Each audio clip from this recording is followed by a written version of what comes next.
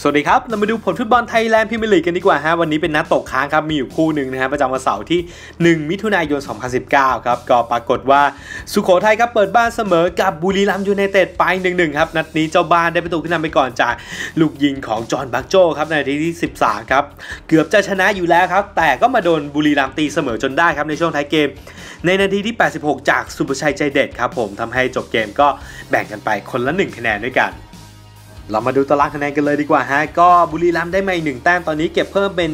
23 คะแนนขึ้นมาล้างตำแหน่งรองจ่าฝูงนะฮะ ก็ตามหลังจ่าฝูงอย่างการท่าเรือเนี่ยอยู่ 5 คะแนน แต่ว่าบุรีรัมย์เนี่ยเตะน้อยอยู่กว่า 1 นัดนะฮะส่วนสุโขทัย1แต้มที่ได้มาตอนนี้เก็บเพิ่มเป็น 15 คะแนนครับ ขยับขึ้นมาอยู่ที่ 10 ของตารางก็มีแต้มเท่ากับชนบุรีครับแต่ว่าประตูได้เสียดีกว่านะฮะ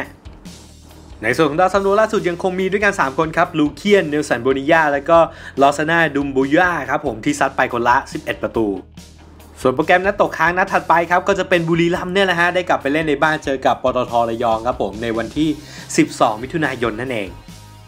ส่วนโปรแกรมนัดถัดไปของ Thailand Premier League เนี่ยนัดที่ 14 เนี่ยจะไปเตะในอีก 2 สัปดาห์ข้างหน้านู่นเลยนะฮะ เริ่มกันที่เสาร์ที่ 15 มิถุนายน สุพรรณเจอกับสมุทรปราการ ตราดเจอสุโขทัยประจวบเจอเชียงราย แล้วก็นครราชสีมาพบกับชัยนาทนะฮะ ต่อกันที่วันอาทิตย์ที่ 16 มิถุนายน Bangkok เจอราชบุรี เชียงใหม่เจอปตทระยองชลบุรีเจอเมืองทอง แล้วก็ big match ฮะการท่าเรือเปิดบ้านเจอกับบุรีรัมย์ยูไนเต็ด